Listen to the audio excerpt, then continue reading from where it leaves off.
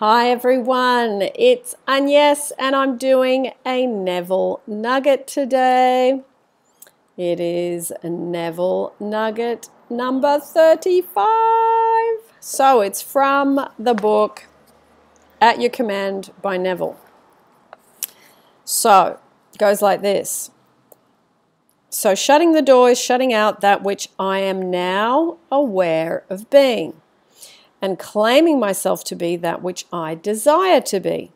The very moment my claim is established to the point of conviction, that moment I begin to draw unto myself the evidence of my claim. Do not question the how of these things appearing, for no man knows that way.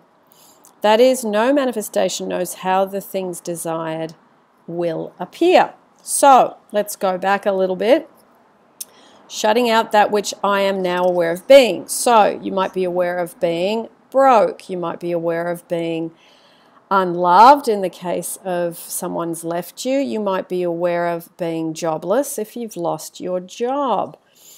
So, what you have to do is you have to remove your attention from that and put it onto the desired thing. So, having the job, having the money, having the love from a specific person or being in a wonderful relationship. Okay? So that's what you're really doing. You're not going from going from having no money to money. You're not going from having no job to a job. You're not going from having a broken heart to having a wonderful relationship. You're really going from the state of poverty to feeling relaxed and good about money. You're not going from having no job to a job. You're really going from feeling fear about your security of how am I going to pay stuff? I haven't got any work to feeling relaxed, knowing everything is going to work out, that you're going to have work, that you're going to be able to pay for things, and you're going to be secure. So, in this case, you're going from being insecure to secure. In the case of the relationship, you're going from feeling unwanted and unloved to feeling wanted and loved within yourself. That's the journey. If you can correct that part and forget about the outside, the outside will mirror what you've got going on within you because your thoughts and feelings are magnets, okay, and they attract. So, Neville Nugget. Now he says here, do not question the how of these things appearing, for no man knows that way.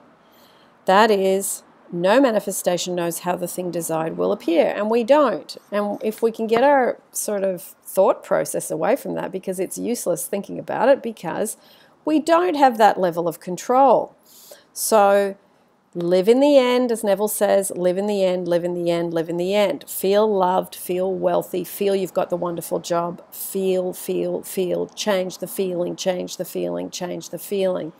You got to shut your eyes to reality and you got to feel the new state of being. Okay, so you're changing states.